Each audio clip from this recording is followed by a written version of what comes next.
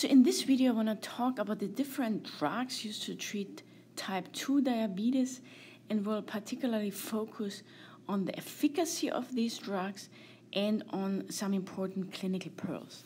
So let's start with metformin. So metformin is our first line agent. So this is a drug that almost everybody with type 2 diabetes is going to get. So the efficacy is very high. So we determine the efficacy in terms of how much reduction of A1C the drug can achieve. We can put the efficacy into three categories. Drugs with high efficacy lower the A1C more than 1.5%, with moderate efficacy between 1 and 1.5, and with low efficacy below 1%. So metformin is a high efficacy drug because it can lower the A1C more than 1.5%. What is metformin's mechanism of action? It activates AMP kinase. So this is an enzyme, and you can find also AMP kinase downstream insulin signaling. Therefore, we call metformin sometimes an insulin sensitizer because it just jumps on insulin signaling downstream at the AMP kinase levels and then does kind of trigger similar actions than insulin. So metformin is a great drug because it has high efficacy and then a very low hypoglycemia risk. Also, it does not lead to weight gain, and the major adverse effects are GI effects. So, a lot of patients are going to complain about nausea and vomiting, a lot of diarrhea and metallic taste, so metformin for metallic taste. And then, rarely, it can also lead to lactic acidosis. The reason is that metformin increases lactate production by uncoupling mitochondrial oxidative phosphorylations, specifically in the gut. And then it also reduces lactate removal by the liver as it blocks gluconeogenesis. So it kind of does a couple of things that will, in the end, increase lactate production. And therefore, you should be very careful in patients with renal impairment, as metformin is excreted completely via the kidney. That means if you have renal impairment, you're going to lead to higher uh, metformin levels, and therefore you can also trigger higher lactate levels. And then because lactate is metabolized or is, we get rid of lactate in the liver, we should also be careful in patients with hepatic impairment because if we cannot get rid of lactate, then we're also more prone to lactic acidosis. One of AMP kinase downstream effects is to decrease cholesterol, triglyceride, and fatty acid synthesis. So, therefore, metformin also improves lipid profile, and that's obviously a good thing.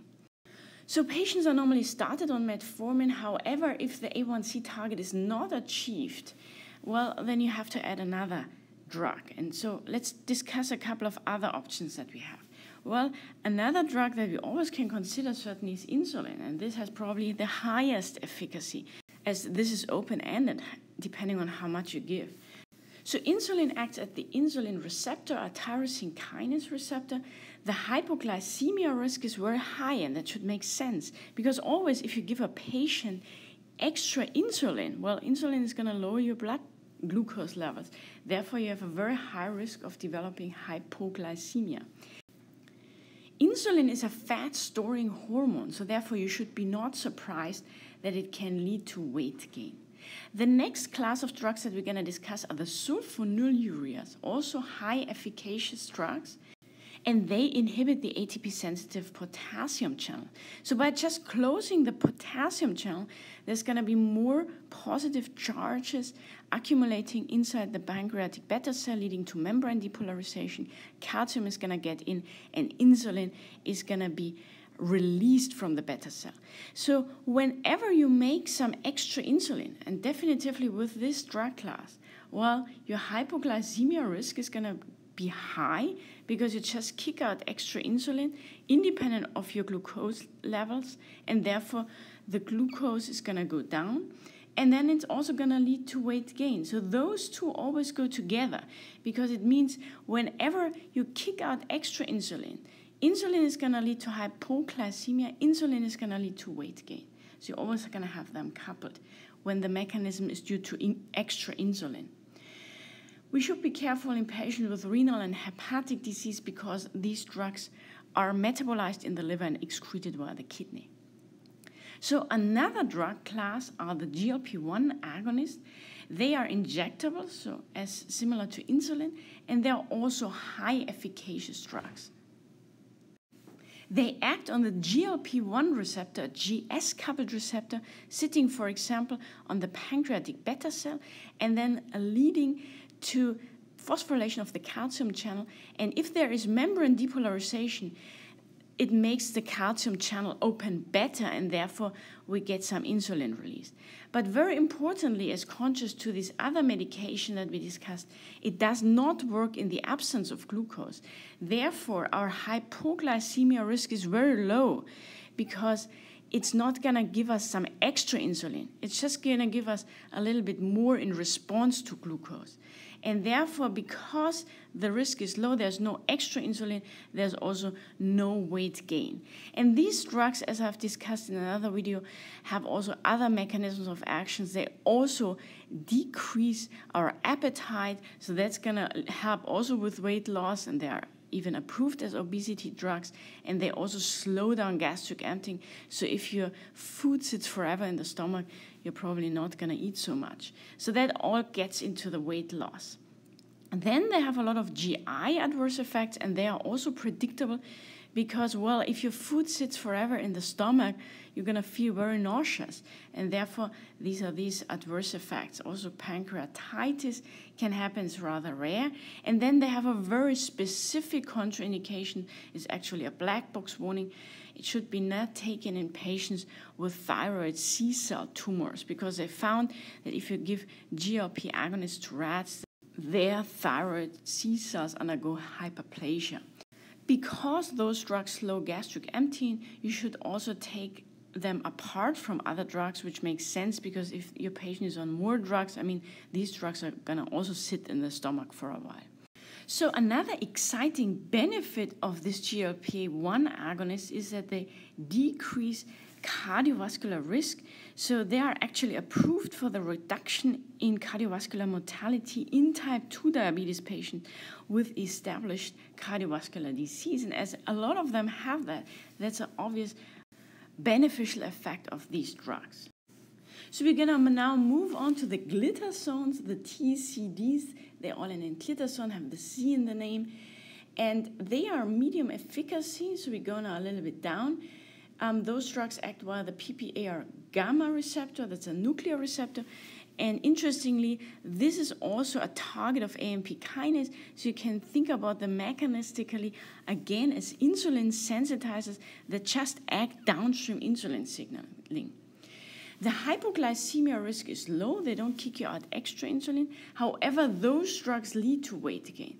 The mechanism behind the weight gain is actually different from the other drugs that I have discussed because they have effects in the kidney and they lead to edema. So, therefore, the weight gain might be related to the edema, to the more water retention. Those drugs have also a lot of other toxicities. I mean, they're pretty hepatotoxic. They also lead to bone loss. And then those guys increase risk for bladder cancer, another cancer warning here.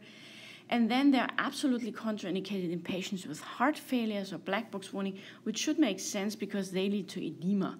So these drugs also improve the lipid profile similarly to metformin, and it kind of makes sense because PPAR gamma signaling also converges with AMP kinase signaling, and we know that AMP kinase decreases cholesterol, triglyceride, and fatty acid synthesis in the liver. So therefore, um, that might explain this improvement in lipid profiles of also the glitazones. So now the last two classes that I want to discuss are gliflozins. So these are the SGLT2 inhibitors. They act at the kidney. They inhibit the reabsorption of glucose, so you're just going to get rid of more glucose. The hypoglycemia risk is low. They also lead to weight loss. And you can think about that easily just by thinking that, well, you're just going to pee out more glucose, so you're just going to get rid of more calories. Also, their adverse effect are predictable, well, you're gonna ha- are more prone to develop urinary tract infection because you have all this glucose around in your urine. They also can lead to diabetic ketoacidosis, and then because you they are basically diuretics, so you can be, get dehydrated, and that can then also lead to hypotension.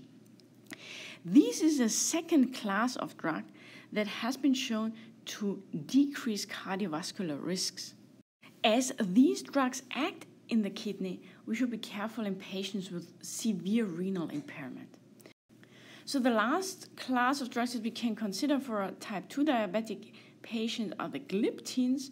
These are the DPP4 inhibitors. They have the IN inhibitor and the P for DPP4 in its name. And so DPP4 is this enzyme that degrades the GLP-1, and therefore you're just going to have more GLP-1 around. And so generally would think about it from a mechanistical perspective similarly than the GLP-1 agonist. I've already explained in another video that it's not completely true. So they lack the effects on the brain and also the effect at the stomach, and so therefore their major effect is the pancreatic beta cell, and this might explain that they have way lower efficacy. As their effect on the pancreatic beta cell is dependent on glucose, they don't kick out any extra insulin, so therefore we have a low risk of hypoglycemia and then also they are weight neutral. Because DPP4 might have an immunological role that could explain that we see in this patient an increased risk of infections, particularly respiratory infections. Rashes have been reported as well as angioedema, and turns out that DPP4 might be also involved in the breakdown of bradykinin, so that could explain the angioedema risk. So there are two more classes that don't regularly show up on the American Diabetes Association algorithm, but still might be tested on the boards, are the alpha glucosidase inhibitors and the non sulfonylureas. So, the alpha glucosidase inhibitors, as the name already implies, inhibit alpha glucosidase, an enzyme that breaks down glycogen. And if you cannot break down glycogen, well, you're not going to end up with monosaccharides like glucose. And as we only can absorb monosaccharides, we're going to absorb less glucose. And that's obviously a good mechanism of action to just absorb less glucose. They have, however, low efficacy and also go along with a low hypoglycemia risk. They rather lead to weight loss or are weight neutral because you're just going to absorb less calories. And the major adverse effects are GI related adverse effects because they act in the GI tract. The non sulfonylureas, they all end in glinide, act basically identical with the sulfonylureas. They just don't show up as often on kind of guidelines how to treat type 2 diabetic patients because they're way more expensive than the sulfonylureas and don't give any additional benefits. This concludes the video on the different treatment options for type 2 diabetic patients.